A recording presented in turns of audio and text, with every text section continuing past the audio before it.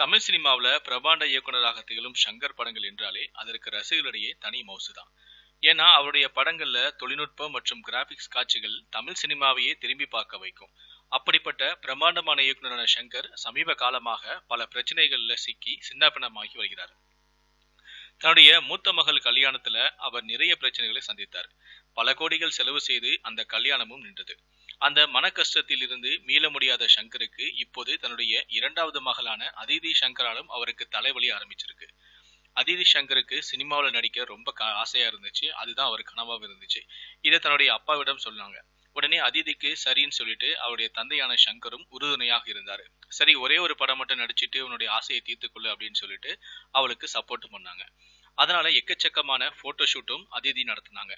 அதன் காரணமாக அவருக்கு முத்தையாவுடைய படத்துல யுவன் சங்கர் ராஜா இசையில விருமன் படத்துல கார்த்திகுடன் நடிக்க வாய்ப்பும் கிடைச்சது.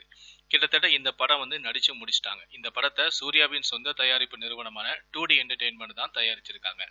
விருமன் படம் வருகிற ஆகஸ்ட் முப்பத்தோராம் தேதி திரை ரிலீஸ் ஆக இருக்கு. இந்த விருமன் படத்தை தொடர்ந்து இன்னும் நான்கு படங்கள்ல தற்போது அதிதி கமிட் ஆயிருக்காங்களாம் இந்த விஷயம் எதுவுமே சங்கருக்கு தெரியாதாம் அவர் ஒரு படம் நடிப்பதற்கு மட்டும்தான் அனுமதி கொடுத்தாராம் ஆனா தற்போது அதிதி நான்கு படங்கள்ல நடிக்க விருப்பம் தெரி விருப்பம் தெரிவிச்சிருக்காங்களாம். இது சங்கருக்கு பெரிய கோபத்தையும் ஏற்படுத்தியிருக்கான் இதனால மகள்களால அவருக்கு நிம்மதி இல்லை எனும் தெரிய வருது.